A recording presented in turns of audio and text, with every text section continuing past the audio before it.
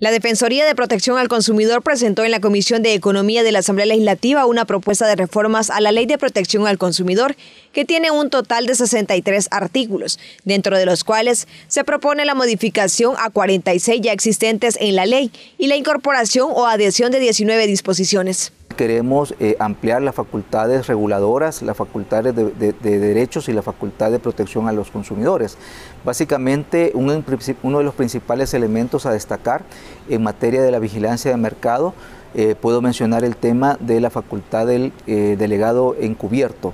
Esta es una facultad que nos va a permitir a nosotros detectar eh, esos incumplimientos o obligaciones que tienen los proveedores. Una de las nuevas propuestas es que los parqueos deben otorgar 30 minutos gratis a los clientes y el cobro contará pasado ese tiempo. Eso no contará para los negocios que son exclusivamente de parqueo en la ciudad. En cada uno de estos eh, nuevos sectores o de servicios, mejor dicho, nosotros como institución estamos trabajando fuertemente para eh, poder establecer normativas de orden general, normativas que en este momento no existen.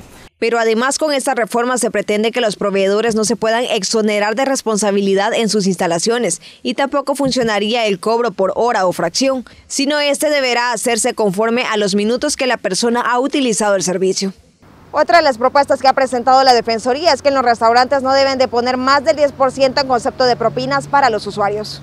Nunca le hemos solicitado al cliente que pague más del 10%, pues eso tal vez en otros países que ponen el 10, el 15, el 20, el 30%. Con nosotros aquí es voluntaria la, propina. El cliente la puede rechazar si ha recibido mala calidad en el servicio o mala, o mala, o mala calidad de los productos que le hemos servido. Y no es obligación. Los restaurantes cuidan los vehículos. Lo que pasa es que es imposible.